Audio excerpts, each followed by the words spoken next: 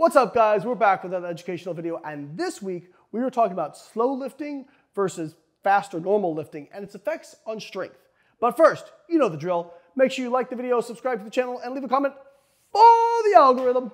A new meta-analysis came out looking at concentric speed of lifting. So when we say concentric, for example, if we're doing a, a bicep curl, the portion where the muscle is shortening, that is the concentric.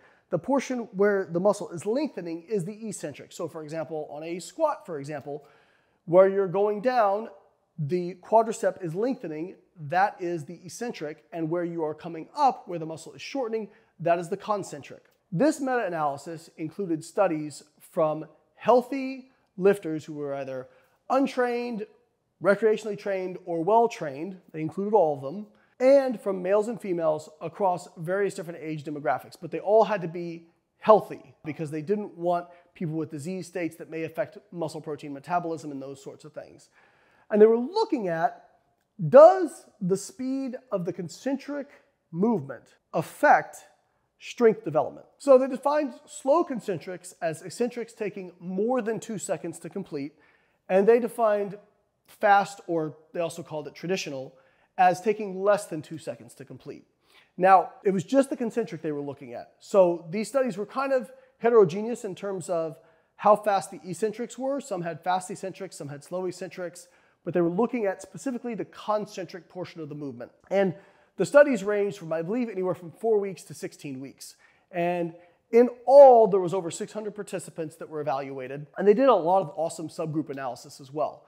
And the outcome of the study was that people who trained with slow concentrics didn't get as strong as people who trained with purposely faster concentrics. This kind of makes sense when you think about it from a force development perspective. You know, if you think about the force velocity curve, a light load can still have a very high force applied to it if you go fast. But if it's a light load and you're applying a slow velocity to it, then it's not as much force, right? Now, if it's a heavy load, you still want to apply as much velocity as you can to it because it's more force, but if you go slow, it'll be less force. They didn't look at muscular hypertrophy. My suspicion is that it probably wouldn't affect muscular hypertrophy as much, simply because muscular hypertrophy is more about doing enough mechanical tension under load and getting close enough to failure on individual sets to elicit hypertrophic response. But they didn't test for that specifically. My suspicion is that if they were doing similar volumes, taking those sets in close proximity of failure, that they would see similar results. And doing a slow concentric, it may mean you can do less reps and get closer to failure, although the overall time you're under tension is probably still similar. But specifically for strength, they did see a reduction in strength development for people who did slow concentrics.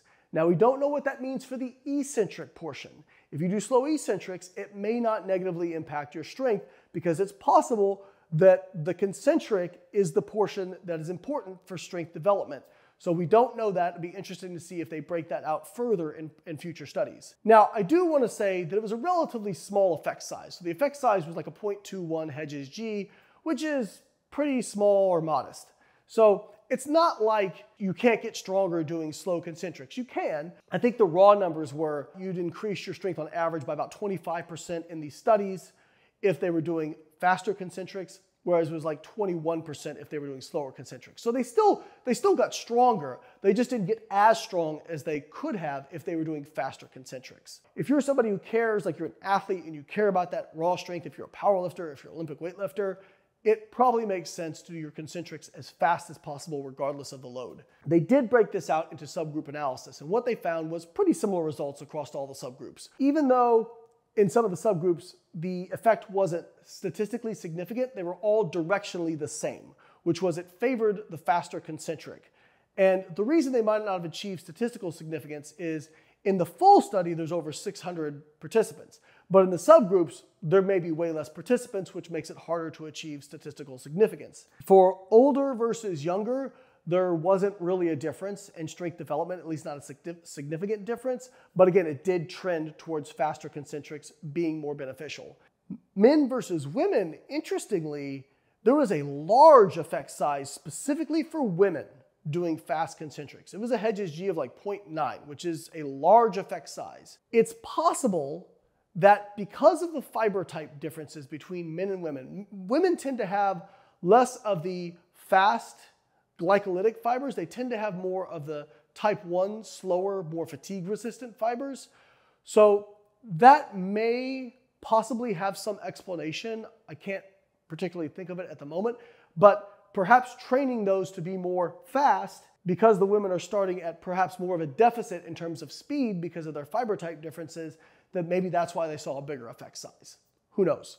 And then between trained and untrained, again, there wasn't a statistically significant difference, but everything trended towards fast concentrics being better for strength development than slow concentrics. What is my take home message here? Well, my take home message is if you want to be the strongest person you can possibly be, do fast concentrics or as fast as you possibly can, depending on the weight you're using. So, whatever given load you have, move it as fast as you possibly can. This is actually a lot of the basis of the training that I do with Zach Robinson of Data Driven Strength is we do some heavy top sets to get the basically neurological benefit and practice of using heavy weights. And then our back off sets are significantly lighter, like 70% of a one rep max for a low number of reps.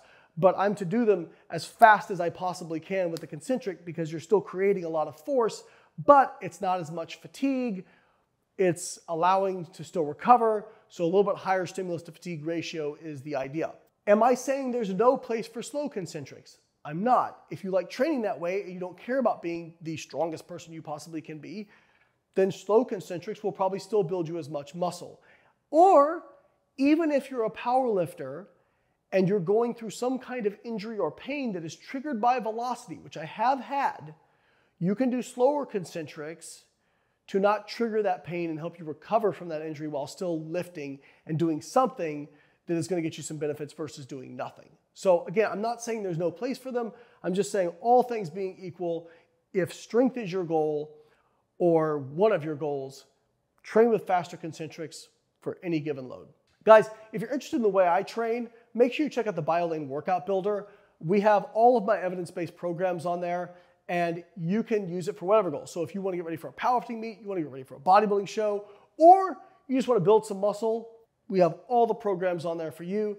We have female tailored programs. I don't want to say specific. There are no female specific programs. There's nothing fundamentally different about how men and women need to train. It's just more about what body parts are emphasized. You know, ladies, we know that the peaches are in right now. So we have more like glute, leg focused programs for women. And then we have more overall balance for men.